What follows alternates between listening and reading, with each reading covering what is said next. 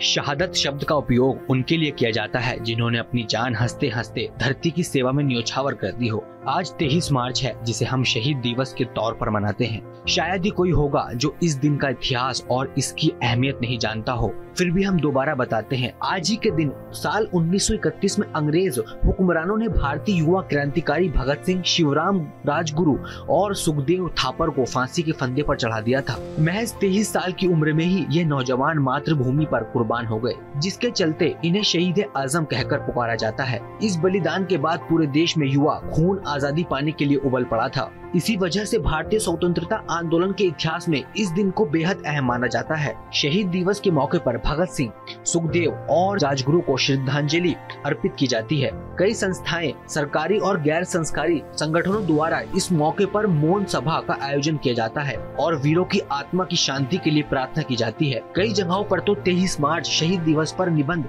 लेखन और सार्वजनिक भाषण का भी कार्यक्रम आयोजित किया जाता है। भगत सिंह, राजगुरु और सुखदेव थापर ने अंग्रेज़ी हुकूमत के खिलाफ अपनी आवाज़ बुलंद करते हुए पब्लिक सेफ्टी और ट्रेड डिस्ट्रीब्यूटर विलेज के विरोध में सेंट्रल असेंबली में बम फेंके थे, जिसके बाद उन्हें गिरफ़्तार कर लिया गया। भगत सिंह, राजगुरु और सुखदेव को फांसी देने के लिए 24 मार्च 1931 की सुबह छह बजे का समय चुना गया था। लाहौर सेंट्रल जेल के बाहर दो दिन पहले ही लोगों की भीड़ भारी संख्या में जुटने लगी। यह भीड़ लाहौर में धारा 144 लागू करने पर भी नहीं थमी तो अंग्रेज़ घबरा गए। भीड़ की भारी संख्या देखकर इन शहीदों को 12 घंटे पहले ही फांसी पर लटका दिया गया और 23 मार्च 1931 की शाम सात बजे तीनों को फांसी दे दी गई। इससे पहले तीनों को अपने परिवारों से आखिरी बार मिलने की भी इजाज़त नहीं मिली। अंग्रेज़ों ने जनता के गुस्से से बचने के लिए तीनों के शव जेल की दीवार तोड़कर बाहर निकाले और रावी नदी के तट पर जाकर जला दिए। इसी के साथ तीनों युवाओं का नाम हमेशा के लिए इतिहास में दर्ज हो गया।